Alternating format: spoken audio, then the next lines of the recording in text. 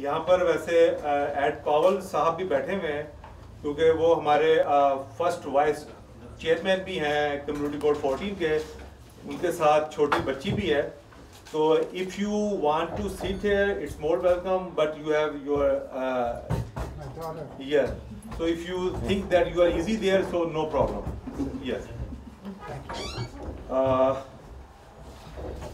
uh, mm, मैं program का थोड़ा सा जैसे मैंने आपको बताया कि हमने जो यहाँ पर 2013 में जब मैं 2010 में यहाँ पर आया सारे मैंने आ, काम शुरू किए तो जो मैंने चीज़ महसूस की कि शायद जो यहाँ पर जो पहले से लोग यहाँ पर पाकिस्तान में अब यहाँ से आए हुए क्योंकि सेम मेरा कुछ अपनी रिसर्च है कि जो सेवेंटीज़ में लोग यहाँ पर आए वो पढ़े लिखे लोग यहाँ पर आए।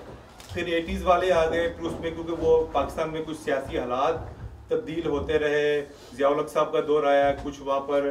तो उस वाले से फिर यहाँ पर एक एक नस्ल आई, उसके बाद जो नाइन्टीज़ में आए, फिर कुछ इस तरह का लॉटरी वीज़ा और ये सब कुछ। तो उस वजह से वो तीन मुख्तलिफ़ किस्म के यहाँ पर नस्लें आई।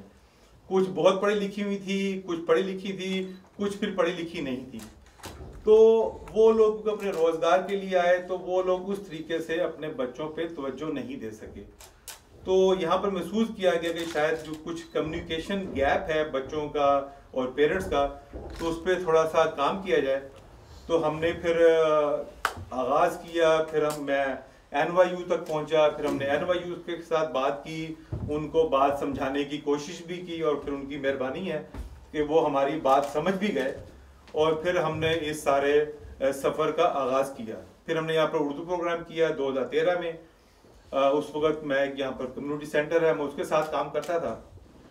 उसके बाद फिर मैंने अपना ये जो ऑर्गेनाइजेशन है जो ब्रिक के नाम से मैंने एक नाम सोचा कि Brooklyn rebuild immigrant communities and knowledge actually Brooklyn के साथ थोड़ा सा मसला ये हुआ कि ब्रुकलिन जो है वो बहुत अहम है।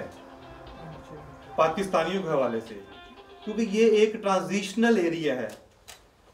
When peoples come from Pakistan okay we want to go U S A so they come Brooklyn but after spend some time they go to other state they go to Michigan California तो यहाँ पर जो है, यानी कि ये मैं किसी पर तनकीद नहीं कर रहा, लेकिन हुआ यह कि यहाँ पर सिर्फ़ वर्किंग क्लास रह गई। जो लोग थे लॉन्ग आइलैंड चले गए कैलिफ़ोर्निया चले गए मिशिगन चले गए तो यहाँ पर वर्किंग क्लास रह गई। जिसकी वजह से इस इलाके पे उस किस्म की तवज्जो नहीं हो सकी जैसी के यहाँ पर होना चाहिए था। तो ये एक हमारी कोशिश है जिसका हमने ये आगाज़ किया है। और मैं शुक्रगुजार हूँ कौंसल जनरल साहब का कि वो भी यहाँ पर तशरीफ़ रखे हुए हैं। बल्कि सलामत अली साहब हैं, इनके साथ भी हम कुछ काम कर रहे हैं। कुछ म्यूज़िक के हवाले से कि हम जो हमारी जो ज़ुबान है उसको हम किस तरीके से मज़ीद फैला सकते हैं? क्योंकि गो के पाकिस्तान में रीजनल लैंग्वेज भी हैं पंजाबी भी है वहाँ पर सिंधी भी है बलोची भी है पंजाबी भी है लेकिन जो मेन कम्युनिकेशन की जो ज़ुबान है वो शायद उर्दू ही है बल्कि है ही उर्दू। तो उस पर हमने ये काम शुरू किया है। तो आ, मैं गबीला जी से रिक्वेस्ट करता हूँ अगर वो थोड़ा सा इसके बारे में मज़ीद कुछ बात करना चाहें कि एन के साथ जो कम्युनिटी का एक हमने जो एक पार्टनरशिप शुरू की है उस हवाले से अगर कुछ बात करें तो गुजारिश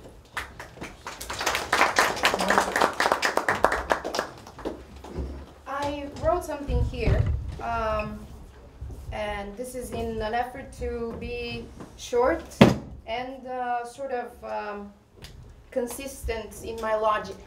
So I will ask you to focus.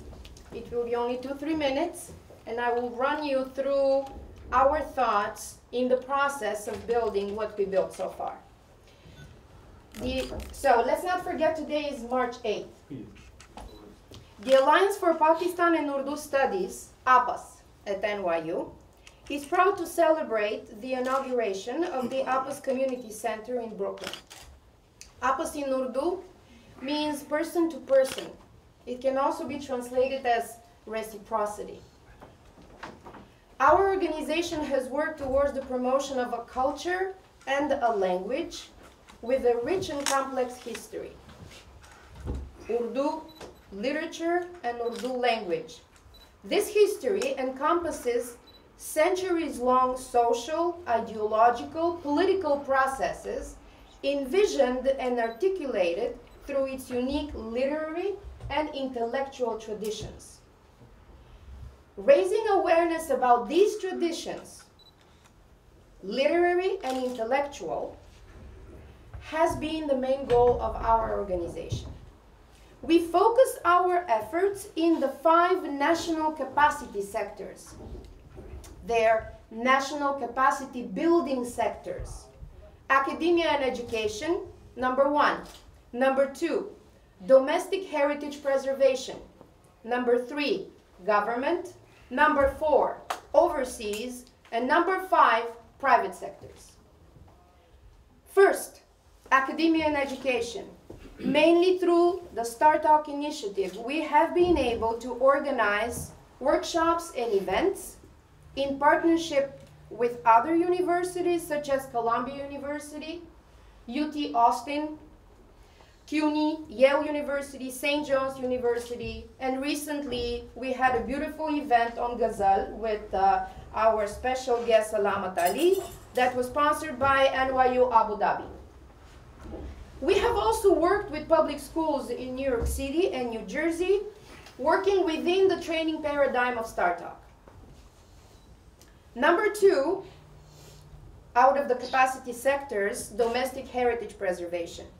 We have uh, succeeded to join efforts with community organizations, mostly um, due to the huge efforts that Shahid Khan in Brooklyn and Nusrat Suhail, she's not here yet, in New Jersey, were able to put together. And we've worked with National Youth Organization of Pakistan, Pakistan Christian Association USA, Uh, Sony Vatan Gilgit Baltistan Association, Pakistan Music and Culture Association, to name a few. Number three, which is government. Today, is an example of our attempt to work with government representatives. And we are very happy that they're here. Thank you for coming. Number four, overseas. Not only are we sending our students to India and Pakistan to improve their knowledge on the, these literary intellectual traditions, but we're also working with institutions and, and organizations in Pakistan. And uh, we're hosting students from Pakistan. And we have uh, one example here, um, a foreign language teaching assistant who is working with, with us now at NYU. We have also made a proposal to StarTalk and supported StarTalk in establishing the first government-funded masters in Urdu and Hindi pedagogy. And uh, finally, the number fifth sector, which is private businesses. That's why you're here, to help us make, make connections with them so that they can support us further in our efforts.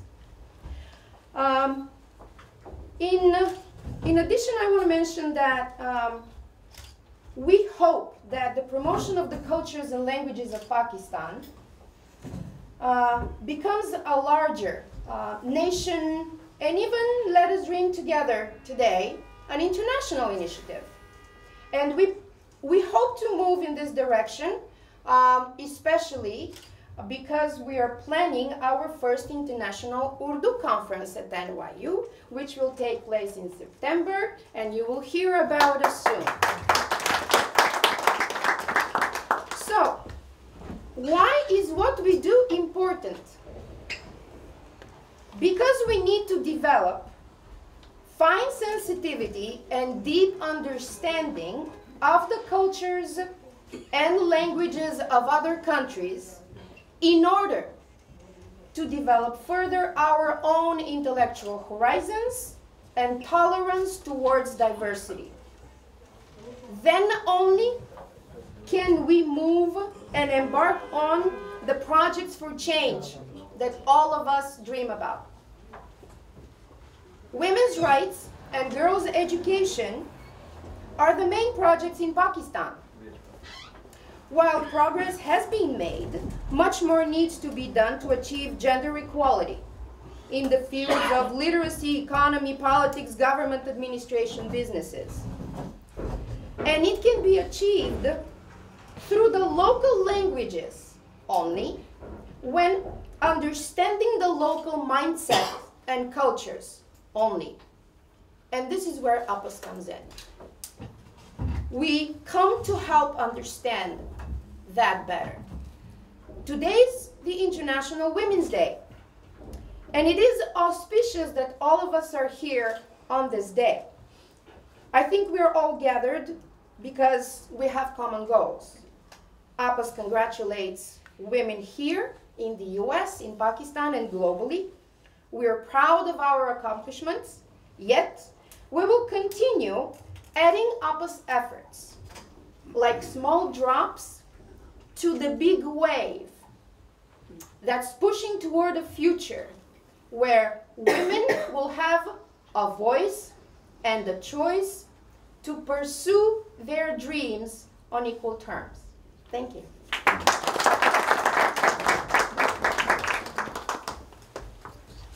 बहुत शुक्रिया गेबिला जी आ, अभी आ, तारा नकवी साहबा भी आ गई हैं जो कि